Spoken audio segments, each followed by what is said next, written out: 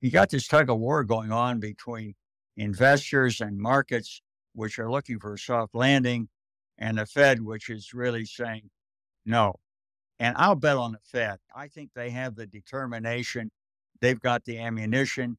And of course, they'll no doubt precipitate a recession. It's probably already in the cards if it hasn't already started. But the point is that it takes time for all these things to work through.